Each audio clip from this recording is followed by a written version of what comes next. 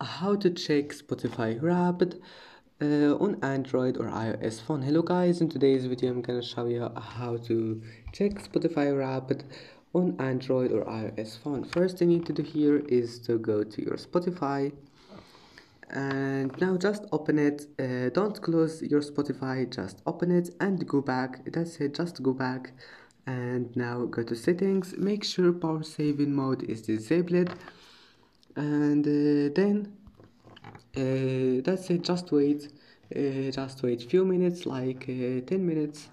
And then after that close your spotify and then restart your phone and try again. And that's it. Then make sure your instagram is updated and your problem must be fixed. It's easy. And that's it for today's video. Don't forget to like and see you in the next video